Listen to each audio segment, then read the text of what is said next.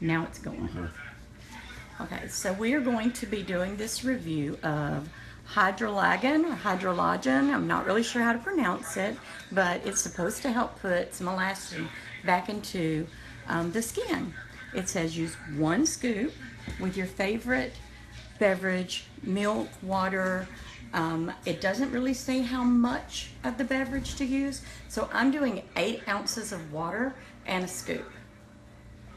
And then I'm just going to put it in there together and I'm going to shake it up.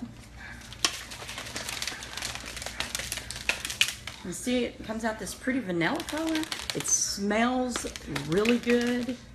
And then I'm just going to give it a little taste. Hmm, it's actually not bad. I think I can drink this. Good job.